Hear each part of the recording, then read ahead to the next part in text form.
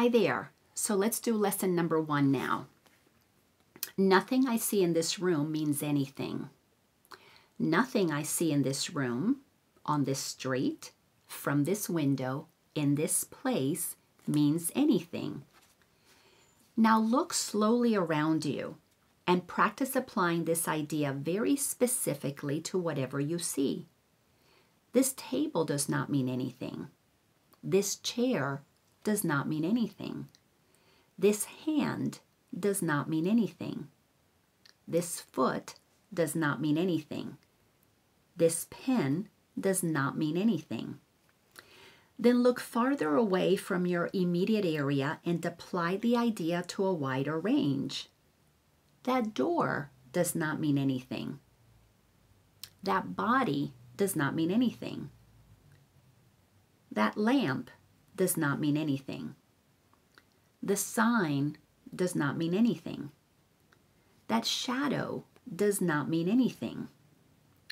Notice that these statements are not arranged in any order and make no allowance for differences in the kinds of things to which they are applied.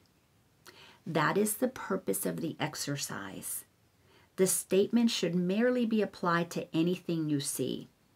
As you practice the idea for the day, use it totally and indiscriminately. Do not attempt to apply it to everything you see, for these exercises should not become ritualistic. Only be sure that nothing you see is specifically excluded. One thing is like another as far as the application of the idea is concerned.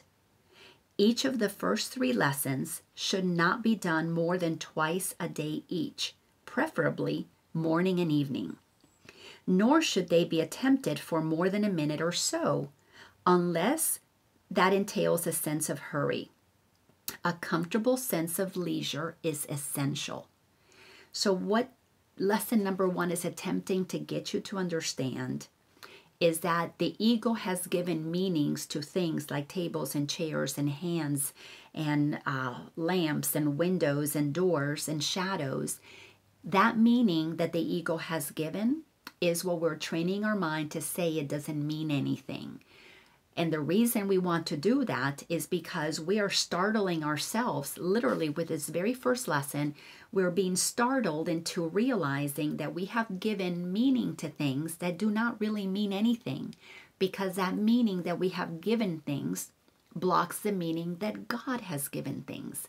And as we proceed through these lessons, that's going to become very obvious. But for now, let yourself be comfortable Again, don't single out specific things to say, I'm not going to say it about this thing.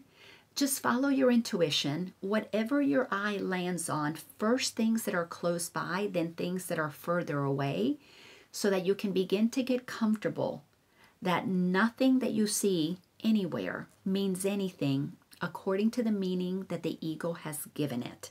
So, this is the completion of lesson two. Thanks a bunch and have a magnificent day.